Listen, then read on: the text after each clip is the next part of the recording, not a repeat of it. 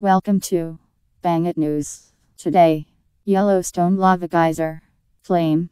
Photograph shows lava that came gushing out of geysers at Yellowstone National Park following a string of nearby earthquakes. This claim is false. Description A report of lava gushing out of geysers at Yellowstone National Park following a string of nearby earthquakes is fake news.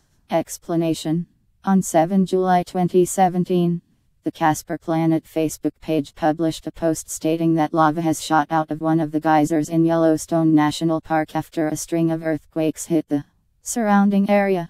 Breaking Yellowstone lava geyser for the first time in recorded human history. Lava has shot out of one of the geysers in Yellowstone National Park. This following directly after a string of earthquakes in Montana and very rural Wyoming. Geologists, NASA and an oil rig drilling crew are already on scene to document this never recorded event and try to find the cause. We will continue to update you with more information as it surfaces. This item was not true, nor was it reported by any legitimate news outlet.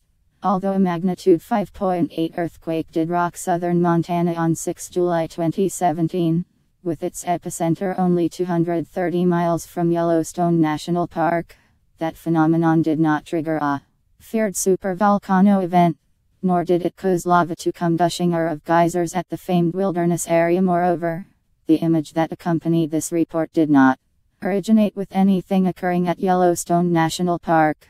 It is a screen grab taken from a video shot by the University of Hawaii's Center for the Study of Active Volcanoes, CSAV, showing lava entering the ocean at Kalapana in July 2008. Watch for it around the 042 am mark. Thanks for watching. Bang It News.